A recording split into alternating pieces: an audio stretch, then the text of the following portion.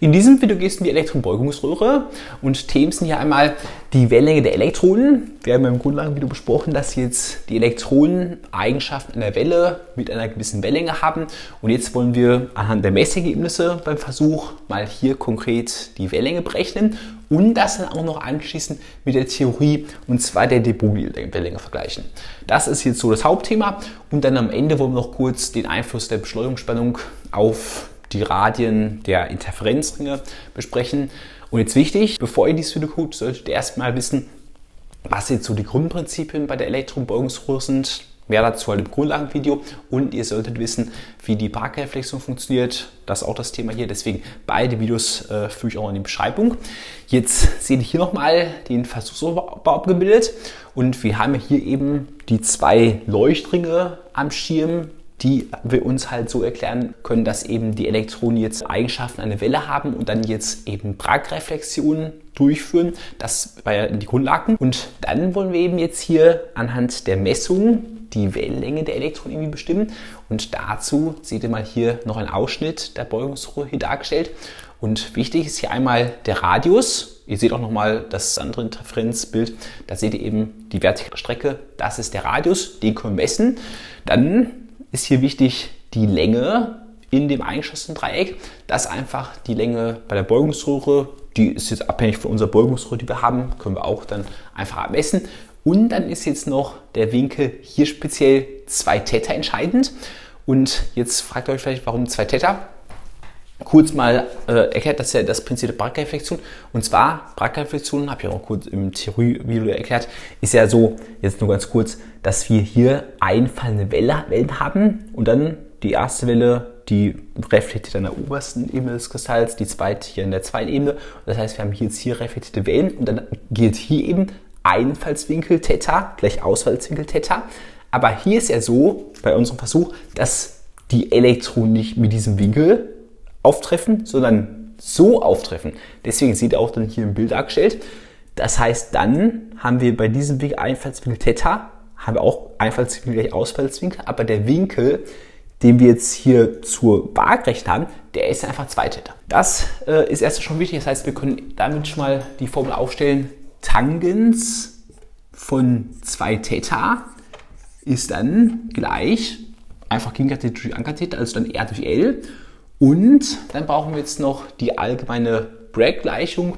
Und die habe ich jetzt halt im Theorievideo zu Bachkreisflexon hergeleitet. Die lautet jetzt 2 mal d mal Sinus Theta ist gleich und dann n mal Lambda.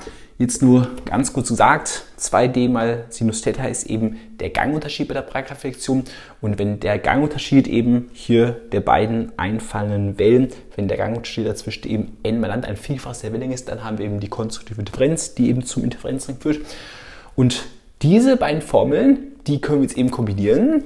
Und dann können wir eben noch sagen, hier n ist bei uns 1, weil der Interferenzring, den wir jetzt betrachten, der entsteht durch Maxima erster Ordnung bei der konstruktiven Differenz. Deswegen hier genau eine Wellenlänge, Gangunterschied.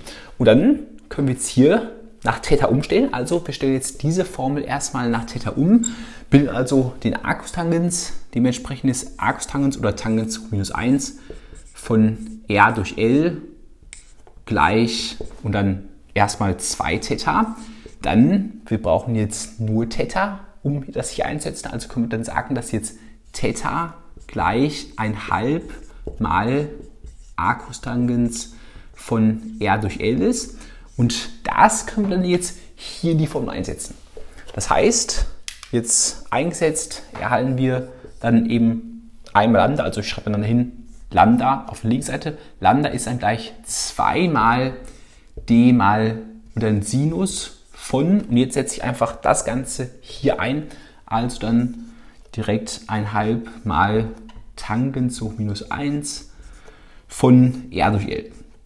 Das wäre jetzt unsere Formel, ich kann es mal einrahmen, mit der wir jetzt eben bei unserem Versuch die Wellenlänge der Elektronen bestimmen können. Und wir gucken uns mal die einzelnen Größen an. Jetzt D ist jetzt der Netzebenenabstand bei der Bragg-Reflexion. Jetzt haben wir hier beim Graphit einen Netzebenabstand von 123 Pikometer. Dazu seht ihr auch nochmal hier den äh, Graphitkristal abgebildet. Und ihr seht, Graphit hat jetzt zwei Netzebenen, deswegen haben wir an der Netzebene D1 und D2 eben diese Pragreflexion. Hier können wir also einsetzen den Wert. Dann R durch L. R ist ja der Radius, den können wir am Schema messen. Und L, haben wir besprochen, ist die Länge der Elektronenbeugungsröhre. Das heißt, wir haben überall die zugehörigen Werte. Bei uns haben wir jetzt einen Radius gemessen von 2,1 cm und die Länge unserer Beugungsröhre soll einfach mal hier 13,5 cm sein. Dann können wir einsetzen, wichtig noch, hier 123 Pikometer müssen wir einsetzen, 123 mal 10 hoch 12 Meter. Und wenn wir das dann einsetzen, dann kommt da jetzt eine Wellenlänge raus von Lambda gleich 18 0,96 Pikometer. Und wir haben jetzt hier die Wellenlänge über den ersten Interferenzring berechnet. Wir hätten natürlich auch noch den zweiten äußeren Interferenzring nehmen können. Da hätten wir einfach hier statt die 1 die 2, den 2 Netzebenabstand verwendet. Der ist beim Graphit 213 Pikometer. Da gibt es ja auch Brackreflexion. Und dann würden wir eben hier nur den Radius des äußeren Rings nehmen. Den kann man auch ermessen. Dann kommt auf jeden Fall auch hier wieder logisch die gleiche Wellenlänge raus. Aber wir haben es einfach jetzt hier mit dem ersten Ring gemacht. Das wäre jetzt die Wellenlänge der Elektronen jetzt basierend auf unserem experimentellen Versuch. Und was wir jetzt machen wollen ist, dass wir mal diese Wellenlänge mit der Theorie und zwar der de Broglie-Wellenlänge vergleichen wollen. Und nach de Broglie gilt jetzt die Formel, kann ich mal hinschreiben, Lambda ist gleich h durch m mal v. Und das wollen wir jetzt mal überprüfen, weil das will man oft in der Physik machen. Einfach mal Ergebnisse aus der Praxis mit der Theorie vergleichen. Lambda gleich h mal v ist die de Broglie-Wellenlänge.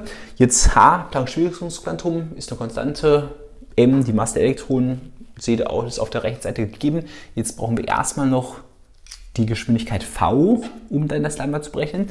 Jetzt die Frage, welche Geschwindigkeit haben jetzt unsere Elektronen? Und das können wir jetzt berechnen. Und zwar können wir jetzt die Gleichung aufstellen, elektrische Energie E mal U, das ist die Energie der Elektronen, ist gleich 1 halb mal M mal V Quadrat. Und diese Formel, die kommt auch ganz oft vor beim Fadenschallrohr, beim Fotoeffekt und so oder in der Beugungsröhre. Und dann müssen wir das nach V umstellen. Jetzt mal ganz schnell gemacht. Wir sehen mal 2 durch m, dann die Wurzel gezogen. Er hat dann jetzt hier V gleich und dann Wurzel aus 2 mal e mal u durch m. Auch oft eine Klausuraufgabe, genau diese Formel herzuleiten. Das wäre auf jeden Fall dann die Geschwindigkeit der Elektro bei uns. Und dann das, äh, haben wir jetzt hier bei uns im Versuch eine Spannung von 4,1 kV, also 4100 Volt. Seht alle Angaben auf der rechten Seite. Und wenn wir das dann hier einsetzen, dann erhalten wir eine Geschwindigkeit von 3,8 mal 10 hoch 7 Meter pro Sekunde. Und die Geschwindigkeit, die können wir dann jetzt in diese Formel einsetzen. Und dann erhalten wir hier eine Wellenlänge von 19 0,16 Pikometer. Also mal 10 minus 12 Meter. Und jetzt vergleichen wir mal diesen Wert und diesen Wert und wir sehen, die Werte sind sehr, sehr ähnlich. Wir haben kleine Abweichungen. Das ist typisch, dass man noch gewisse Abweichungen hat. Und die Abweichung könnte man auch noch berechnen. Die wäre jetzt eben hier 19,16 Pikometer minus 18,96 Pikometer durch 19,16 Pikometer. Und da kommt jetzt eine Abweichung raus von 1,04 Prozent. Also ihr seht, ganz keine Abweichung. Aber das Interessante ist eben jetzt, dass wir die Ergebnisse im Versuch jetzt genau mit der Theorie nach der Broglie bestätigen können. Und jetzt noch eine kurze Sache zum Schluss. Also die Frage, was ist, wenn wir die Beschleunigungsspannung höher einstellen? Dann können wir das hier an der mathematischen Formel nachvollziehen. Eine höhere Beschleunigungsspannung führt dazu, dass jetzt die Geschwindigkeit der Elektronen größer wird. Dann größere Geschwindigkeit hier eingesetzt, führt zu einer kleineren Wellenlänge und eine kleinere Wellenlänge, sehen wir an dieser Gleichung, bedeutet auch, dass wir einen kleineren Radius haben. Das heißt, je höher die Beschleunigungsspannung, desto kleiner sind dann die Radien der Interferenzringe auf dem Leuchtschirm. Das noch eine Sache dazu. Und dann, wie gesagt, Videos zur Brackreflexion und Theorievideo, äh, was die Basis ist, das verlinke ich noch hier. Und das war's dann damit zu diesem Video.